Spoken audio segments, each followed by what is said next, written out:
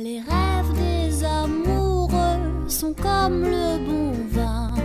Ils donnent de la joie ou bien du chagrin.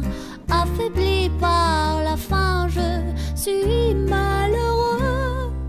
Pas longtemps chemin, tout ce que je peux, car rien n'est gratuit dans la vie.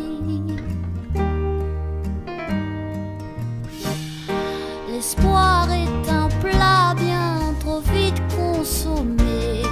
À sortir les repas, je suis habitué. Un voleur solitaire est triste à nourrir. Un jeu